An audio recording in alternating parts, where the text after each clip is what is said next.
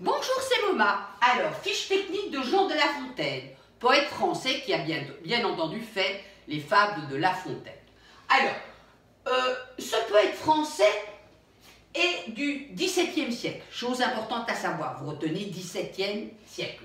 Il est né le 7 ou 8 juillet 1621. Ça, c'est pas très grave, entre le 7 et le 8, euh, selon certains recueils, on hésite. Et il est décédé le 13 avril 1684. Ok? Ça, c'est assez facile dans la fiche technique. Alors, pour l'histoire de Jean de La Fontaine, en fait, il vient d'un milieu bourgeois, mais provincial. D'accord? Ça, c'est une chose. Alors, en fait, euh, il, a, il, a comment, il a voulu aussi, comme, euh, comme certains auteurs, se lancer dans des études ecclésiastiques, donc pour devenir prêtre, mais il a abandonné et il a fait du droit, et puis voilà, etc. etc. Ça, c'est toujours sans problème. Alors, ce qui est important, c'est que Jean de La Fontaine a toujours eu besoin, il faut le dire, de mécènes ou de protecteurs, d'accord? C'est eux qui l'ont aidé à écrire, donc il était toujours en fait un petit peu euh, coincé. Pourquoi? Parce qu'il devait répondre à certaines euh, exigences, euh, par exemple de la cour, ok? Alors, il a été protégé par euh, Nicolas Fouquet, qui lui était le ministre des Finances du roi Louis XIV, le roi Soleil. et en fait, quand euh, il, a, il, a, fait des malversations financières, et à ce moment-là, Louis XIV euh, l'a expulsé, hein, il n'était plus ministre des Finances, et le roi Louis XIV, chose curieuse et amusante, a demandé à D'Artagnan, donc un des mousquetaires, de l'éjecter et de le mettre hors de la cour. D'accord? Le problème pour Jean de La Fontaine, c'est qu'il était protégé par Fouquet. Donc il a dû se trouver d'autres euh, mécènes, d'autres protecteurs pour qu'il puisse écrire. Donc ça, c'est quand même important à savoir. Hein? D'accord? Il a toujours été un peu dépendant. Alors physiquement, il n'était pas beau, il avait un grand nez, il avait des yeux globuleux.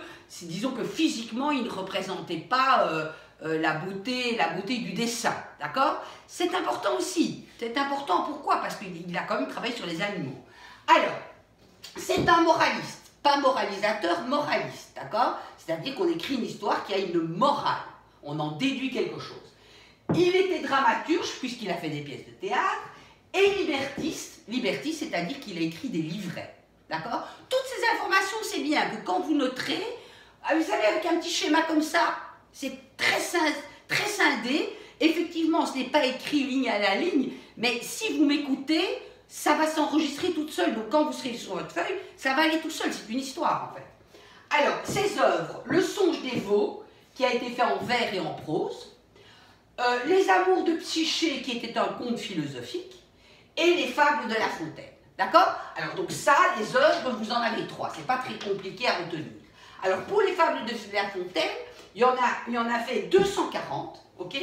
240, et elles ont été divisées en trois. La première, c'est de 1 à 6, vous retenez le chiffre 6, 1668. Le 7 à 11, 1678, donc vous mettez 1 en plus, c'est un peu mathématique. Et enfin, le troisième, c'est le livret 12 en 1694. Euh, 1694, c'est ça. C'est surtout pour le bac 2020, cette période-ci qu'on va analyser. D'accord? Ok? Alors, euh, que fait-il, Jean de La Fontaine En fait, il, il, travaille surtout sur les animaux, les animaux et la nature.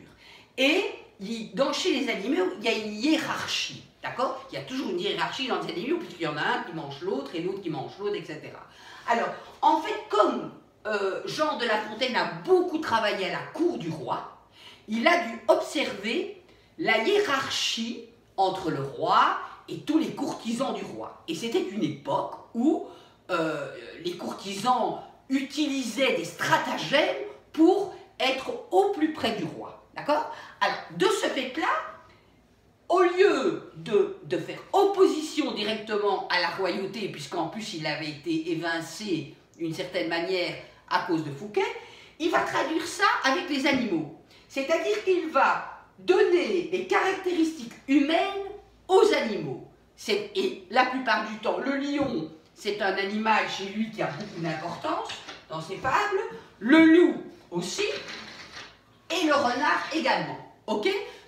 Tout à l'heure, je regarderai un petit peu mes notes pour compléter. Donc, en fait, le lion, c'est le roi, on peut dire le roi Louis XIV, mais le lion est aussi victime. Et on le voit dans les fables. Pourquoi? Parce que avoir du pouvoir, à un moment donné, comme vous avez tous les courtisans qui, qui, qui, s'acharnent, comme dans la fable d'ailleurs, le lion, le loup et le renard, on voit bien que les autres animaux se rapprochent du roi avec finesse.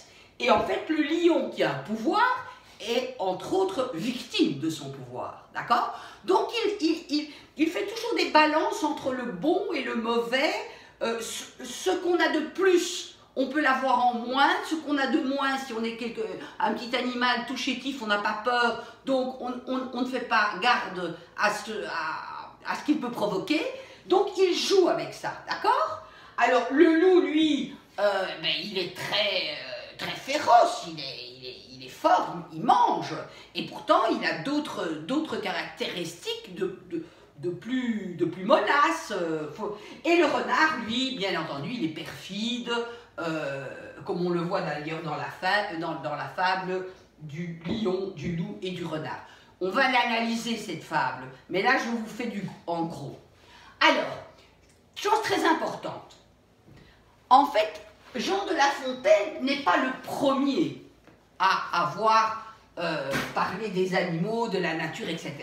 Alors, il a pris ses, inspirations d'Ésope, qui était un fabuliste grec, très important dans votre écriture, là. Donc, retenez Ésope, fabuliste grec, Phèdre, fabuliste latin, et aussi, il a pris ses, euh, ses idées aussi euh, dans, dans l'Orient avec l'Inde et l'Iran. Et, et j'ai trouvé un livre que je vous montre d'ailleurs qui est très intéressant pour certains élèves. Je ne sais pas si on voit, voilà. OK Et ça s'appelle le livre de Caligula et de Dimna. OK Alors c'est un très vieux livre qui en fait est un recueil très ancien qui a été réadapté, mais avec plus de 814 fables issues des, ah, euh, issus, je veux dire non, créés avec des animaux. Vous voyez, la colombe au collier, euh, le, y a le lion et le bœuf. Vous voyez, il y a plein de fables là-dedans. C'est très intéressant, je vous le remonte. Voilà. Et ça, c'est réellement un livre d'origine orientale. Ok? Important à savoir. Donc parfois, on pas toujours, on n'est pas toujours créateur de ce qu'on fait. On, c'est de tout temps, on s'inspire de quelque chose et il s'est surtout inspiré de l'Iran, ce qu'il a d'ailleurs, lors de, son deuxième livre, euh, avoué et écrit. D'accord?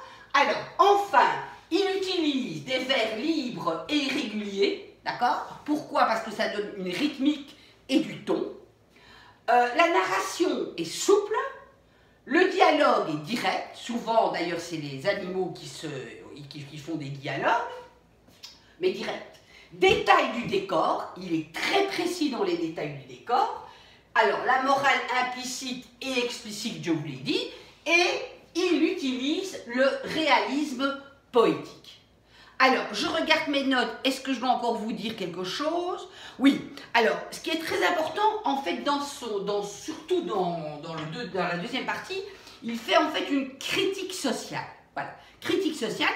Et j'ai noté masquer travers des, des pardon, masquer à travers les animaux l'utilisation de la flatterie et de l'ambition. Donc il fait quand même une critique sociale là-dessus. Voilà, le roi, les courtisans, qu'est-ce qu'ils doivent faire pour arriver à ou s'approcher du roi, donc du pouvoir? Et encore une chose essentielle qu'il faut se dire, c'est que Jean de La Fontaine a observé qu'en fait il y a une certaine, comment je vais dire, fatalité dans la vie.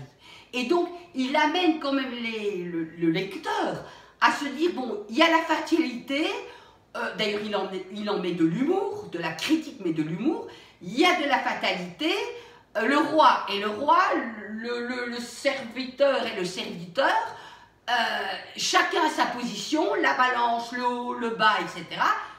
Et c'est comme ça, voilà. Et on, traduit ça par une, une, sorte de poésie, une sorte de fable qui adoucit, adoucit en fait le destin des hommes par et grâce à la nature, aux animaux. Voilà, c'est aussi simple que ça. Au boulot